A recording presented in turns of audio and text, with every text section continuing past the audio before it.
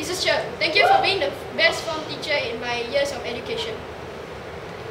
Mrs. Low, thank you for teaching us patiently despite our rowdiness. Mr. Robert, thank you for teaching us PE lessons. Mrs. Basu, thank you for not giving up on the class. Mrs. Ng, thank you for teaching us literature and making every single one of your lessons enjoyable. Miss Tadia, thank you for teaching us geography. You are the best teacher I've ever met. Happy Teacher's Day!